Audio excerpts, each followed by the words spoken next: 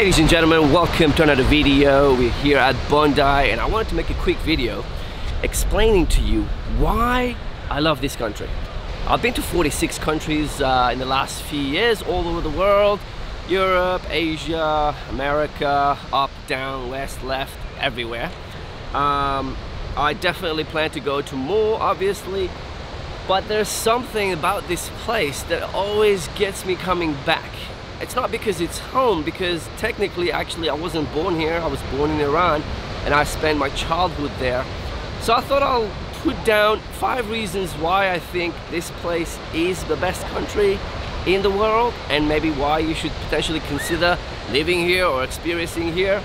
Um, and I don't want to put any other country down. I'm not saying your country sucks. What I'm trying to explain is that why I think this is the best and like why it suits me and why I love living here. Um, yeah, so don't feel offended, don't kill me in the comments, and uh, let's just jump right into it and start with number one. Oh Jesus, my back still hurts. All right, so when it comes to a country, the number one thing, I guess the most important thing is the people. One of the reasons I love this place is because of the people. The people in this country are amazing.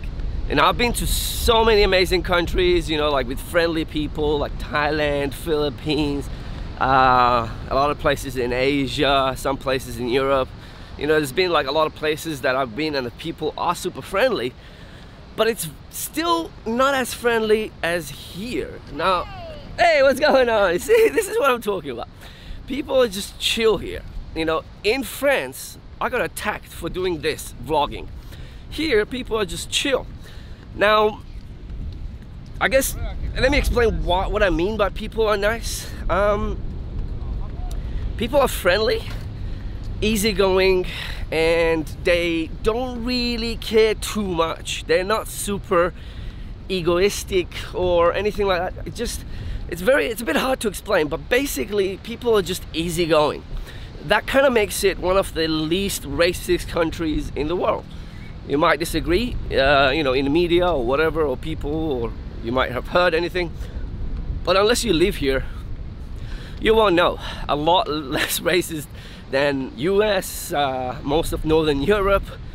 So definitely is a plus because the people living in the country make up that country. Like if if it's not because of the people I mean what else is there right? There's nothing else so that's why I think the people are amazing here. And it just makes it so much easier to, to just live your life, go around, make friends, uh, get along with people at work. Just, you know, if you're in an issue, you got an issue or you got something going on somewhere, people will just help you. People are generous, so they, everyone just gets together and helps out when there's a situation. You know, we had like, I think it was like $50 million donated in a, in a couple of months for bushfires because people just came together and helped the communities and I think that's amazing. You know if, if something happens to you right now you got no money you can get somewhere people will help you and get to you know help you out and get you where you need to go. And I think that's, that's beautiful. That's amazing. So this is why I love living here. That's number one. Let's jump right into number two all right, so the second reason I mentioned was quality of life and I'd say work-life balance in general. Now the definition of quality of life, just look it up for you, the standard of health, comfort, happiness experienced by an individual or a group, essentially in the society. So why I say that quality of life is super high here because we've got healthcare. If you're sick, you're not gonna die. They look after you, essentially. It's because we pay our taxes and we'll get into that later. But in terms of comfort, yep, if you have any sort of job, you can live a comfortable life. Um, to be honest, even if you don't have a job, you can live a comfortable life because the government pays you to look for a job and some people don't, which is, you know, not cool. But anyway, that's a, that's a video for a different story for another day. And happiness, at the end of the day, because people are comfortable and have a good quality of life, they're happy as well, and uh, they can enjoy their life. That's why I think the quality of life is super high here. Um, the food quality is amazing. The we got we got a mixture of people from all over the world. Um, so we essentially get to experience people and, and, and you know food from all over the world and there is no there's no limit to it you know we got people from literally everywhere in Australia. So quality of life is very important and uh, yeah you got it high over here. So I think part of the reason is that because we've got a minimum wage that's actually acceptable and people can actually live off it uh, meaning let's say I think it's just over $21 if you make $21 an hour you can actually live comfortable life you know? You can get a room you can get a small apartment potentially um, but you can get a room get your groceries get your train ticket bus ticket get to work go around lots of free activities so you can actually do that and not spend any money and therefore live a happy life all right, well, that was number two, quality of life. Number three is income versus expenses and opportunities. And I think that one's a big one because, you know, I touched on this a little bit earlier on number two. Um, but you can earn a minimum wage which is livable. And if you have any sorts of ambitions, you can actually earn more very quickly. You know, I started working when I was 17. I was making $15 per hour in McDonald's as a 17 year old. And soon after I started DJing, taking photos, um, and jumping up to different uh, different corporate world and co corporate companies and different uh, higher incomes basically. So in terms of job opportunities, if you are keen, there are a lot of jobs available. You can work in any kind of like your average, easy to get bar, restaurant, cafe, um, type of job very easily without even speaking English very well. You know, I, I, know a lot of people who do. But if you if your English is good and if you have um, any sort of skills, you'll be able to essentially just start working and make a good living. And I, by me by that I mean above standard levels, above your your average levels, which is great. And you know, essentially you can start any company you want if you have the tools and um, and the I guess the resources available to you. If you don't, you go up online and search what's going on, what's up, what's up. there you go.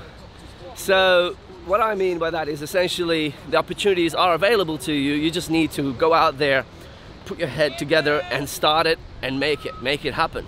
It's all in your, um, it's all in your, I guess, hands. You can do whatever you want. All right, well that was number three. Let's jump right into number four. So before I jump into number four, I just met Jessica from Canada, from Vancouver. And she's just been here for two weeks. So uh, there you go. You just make friends just like that. How amazing is that? Number four is the weather, which she was complaining about because it's been raining for the last few days, but today is nice. And I think it's gonna stick around for a while. Overall, the weather is amazing. Overall, we know we have our crazy days, we have our crazy rains, we have our crazy heat and crazy cold. But overall, the weather is amazing. Let me explain more. Alright, so if you look up online the weather in Sydney, throughout the year, in summer, clear, beautiful, not too cold, not too hot, and in winter, not too cold only. So basically, throughout the year, the weather is quite nice, meaning the temperature range is usually from, I'd say in winter around 8 uh, to 14, 15, and in, win and in summer between 15, 18, maybe 18 to 26, 28. So over the whole year, you get beautiful weather pretty much all the time. And what's not to love about this weather? I think what makes it really different, probably the best, is, you know, when you're like in a hot place, generally it's humid, right? So you actually feel more hot, you feel sticky, gross, and you just feel like you can't breathe. Over here, when it's hot, even when it's super hot, because it's not humid, it's dry weather, you get uh, a really nice weather and you don't feel the heat, essentially. Um, also, you don't sweat like crazy and you don't, um, you don't feel sticky, right? So that's very important. And in winter, because it's not wet, it's not dry, it's, oh, it's not humid, it's dry, you don't feel so cold. So even though it's cold, the temperature is quite low, let's say 8, quite low, um, you don't actually feel like it's 8. You probably feel more, I don't know, 4 or 5 degrees higher. So you don't really freeze to death. And you can still come to the beach on a winter day and you'll see many people surfing and chilling and whoa, look at the waves. The waves are looking quite beautiful today. Very good waves today for surfing. So yeah, that's why I think the weather is so important because look, you can be in heaven, but if the weather is not good, you're probably not in heaven, right? That's what I'm saying. Weather is very important. Top two probably, people and the weather. All right, well that was number four. Let's jump right into number five.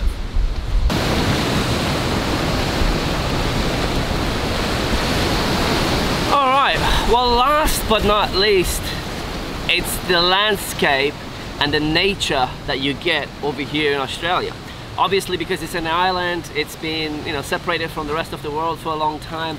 So the, the, the, the you know the actual animals and the nature it's totally unique. So it looks very different from everywhere else. Meaning it's beautiful.